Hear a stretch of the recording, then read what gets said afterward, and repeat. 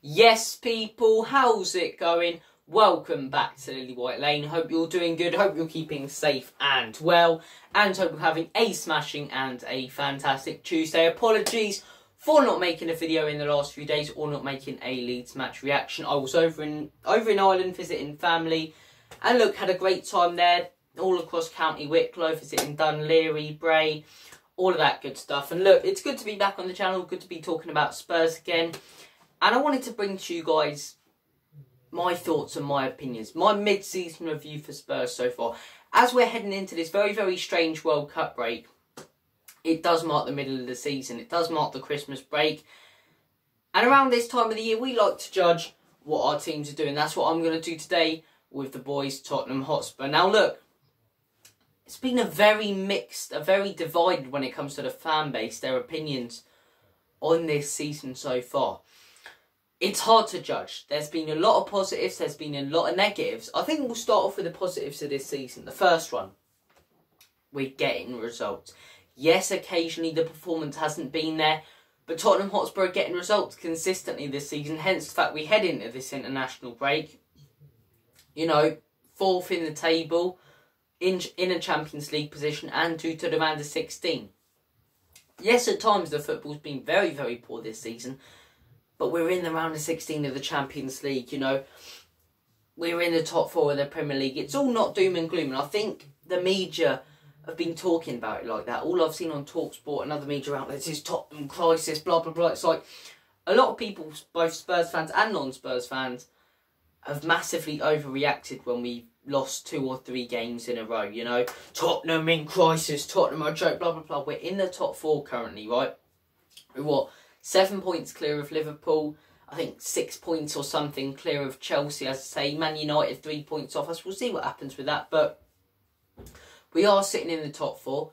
We're through to the round of 16 because we've been getting results. Last season, right, we put in these poor performances. We don't have the players to grind out these results. And that's my point. I think this season we've been much, much better in grinding games out, in staying in games till the last minute. The typical uh, Spurs thing to do is give up. You go 2 0 down it's it's it's game over. We haven't really seen that this season. We've seen a lot of resilience from the boys. Haven't really given up. Haven't really been out of a game. We've been out of a game once or twice this season. Once in the Carabao Cup against Forest, and once against United in the league. The rest of the games, I think, are only a one goal difference if we lost, and they're very very tight. We haven't been smashed this season, and you're comparing it to last season. People go, oh, blah blah blah it is progress. You look at our start to the season, last season, right? Hammered 3 1 by Arsenal. Got beat 3 1 by Arsenal this year, but not hammered. Uh, 3 1 by Arsenal, hammered by them. 3 0 by Chelsea, 3 0 by Palace, 3 0 by United. You know, that beginning of the season under Nuno, and you're looking at Conte's team now. We're staying in games. We're competing more with the top teams, and I'm glad to see that from the boys. I really am. That's a massive positive for our season so far. A massive negative, I think we've got to discuss the performances. I think we've put in some very, very good performances this season. I'm going to name a couple now. I think Southampton one was a very, very solid performance. We attacked in that game. We weren't defensive. I don't care what the media say. The thriller, the seven goal thriller that took place this weekend against Leeds.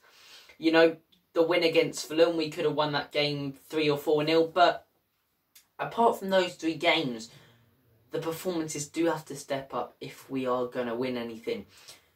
Will these performances keep on coming in and will we keep on getting the results to get into the Champions League next season? I don't know, but if we're serious about winning a trophy, if we want to win an FA Cup, a Champions League even, the Premier League in the next few seasons, you're not going to do it with performances like these. They may get you over the line when it comes to Champions League football, but to actually winning a trophy, we're eventually going to get broken down. And I'm sort of glad this international break's coming at the minute. There's there's a part of me, there's a few fan bases that are Chelsea fans as well. Yes, it's all weird, the Qatar World Cup. But for me, it's coming at a good time for us. I think the Leeds game was massive for confidence, and I thought we played. I thought we were the better team in that game. Had more shots, more possession, blah blah blah. I think we probably deserved to win it. But before that, teams were just starting to figure us out. Teams were just starting to beat us more and more. We had the 2 0 against Forest, the loss to United, the loss to Newcastle, the loss to Liverpool. And a season that started so well was just starting to go down the drain. So I'm sort of glad there was an international break and we've headed into it um, with a win. And look, when we come back from that international break, come back from that World Cup, it's going to be like the start of a new season. Players, teams are going to be completely different. Players injured. It's it's going to be weird for not just the players but the fans and everyone, the managers even. You know, it's a bad time to have a World Cup. I'll still get up for the World Cup. Still probably record a few videos for it, maybe even predictions, previews, match reactions on this channel but yeah, it isn't right. It isn't right, and it, it shouldn't be happening in December. And the only reason it is is is because of that. But look, we move, we get on with it. It's probably still going to be a World Cup, still quality teams: Argentina, Brazil, England, blah, France, blah blah blah, Germany, Spain. But look, I I do think this World Cup is coming at a good time. I do think it's coming at a good time. I think this season we've had a lot of positives as well. Positive player performances look, it's it's a very mixed season, a very divided season. Positives for me. I'm going to name some players now that this season for me are playing the best football they have at Spurs. Some of the best football they've played in their career. Rodrigo Bentancur, Pierre-Emile Højbjerg. That midfield duo this season, immense. Absolutely immense. This is the thing about these two players. We've only bought Bentancur in in January, but him and Højbjerg last season, Højbjerg, since he joined Spurs, has been very on and off. Good game, bad game. Good game, bad game, you know. Both of them consistently this season have put in massive performances and stepped up when we need them. Bentancur stepped up to get that Champions League goal to get that point against um, Sporting Lisbon. Stepped up on the weekend against Leeds with two goals in two minutes to give us the lead. Got the winner against Bournemouth. You know, goals have been coming into his game more. But it's his overall play. And for me, the last five or six games, he's been immense. Even when we lost to Newcastle, for me, that guy was the best player on the pitch. Against Liverpool, that guy was the best player on the pitch. He's consistently been not just the best Spurs player, but the best player on the pitch for his last five or six games. And this season, the guy hasn't put a foot wrong. He hasn't had one, for me, bad performance. And you see in the week without playing him, team just falls apart. There's no real spine. He's been brilliant. Højbjerg, not on the level of Bentancur for me, but has massively stepped up his performances. Really proven himself as a warrior. Has put in some very solid performances. And I think those are, those two deserve a lot of credit. Deserve a lot of credit. They've definitely been two two massive positives of this season. Son, not the son we expected. You've got to look at that and go, something's not right now. People, pundits going, waiting for it to click, waiting for it to click. Right, it's December. It hasn't clicked. I'm sort of glad this World Cup's coming as well because maybe he might come back after it as a better player. But look, Son hasn't been brilliant this season. Royal's somehow gotten worse as a footballer. Eric Dier hasn't been brilliant. And when it comes to players, you've got a section which seem to be getting worse this season. Son, Dier, Royale. And then you've got a section of players who are improving. I think Kane's performances this season, we're seeing one of the best Harry Kane's that we've ever seen, and it's not it's not getting talked about enough because you've got an absolute NPC robot in Erling Haaland banging in goals for fun. But Harry Kane's on what 13 goals. The guy's probably going to get 25, 26, probably beat some of his former Golden Boot records in an even tougher league where it's more competitive with better strikers, and he'll probably beat that record this season. And he won't win the Golden Boot because of Erling Haaland. And that's the thing, you won't get the credit for him. People will compare Haaland and Kane and go, Kane's not as good as Haaland. Kane's better than Haaland. If Kane played for Manchester City, he'd be banging in just as many, if not more, goals, you know? This guy, he hasn't got the best creativity at Spurs. A lot of people talk about the creativity. We've got no attacking midfielders, yet he still scored goal after goal, game after game when we needed him most. Even that goal against Leeds.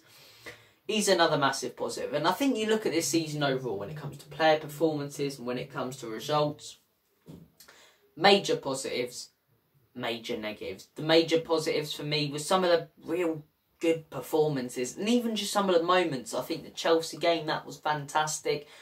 I think first game of the season, Southampton, that was brilliant. Leeds the other day, the four, the four three. But then you look at the negatives, the United performance. You know, we've had a few performances this season where the players just haven't really given anything, the Arsenal performance, and we just really lacked creativity. Seasons before we do that more, but look, we've got to get that out of the game because you're looking at United now, three points off us when we come back from the international break.